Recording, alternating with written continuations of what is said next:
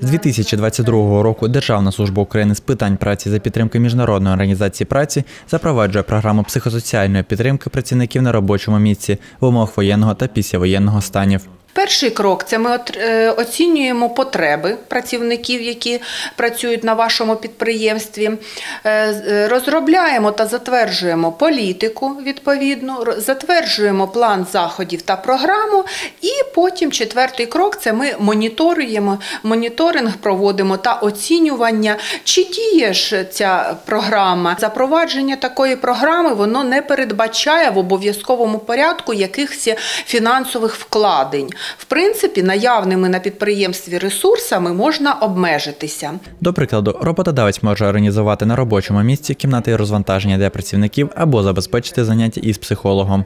Кожне підприємство вирішує для себе. Як я вже сказала, що е, е, управління держпраці жодним чином це не контролює і не нав'язує певних заходів. Ми тільки можемо рекомендувати, що те чи інше підприємство може запровадити, і все це повільними кроками втілюється на підприємстві в життя. За результатом серед працівників проводитимуть опитування, аби визначити, наскільки дієвим є той чи інший вид психологічного розвантаження.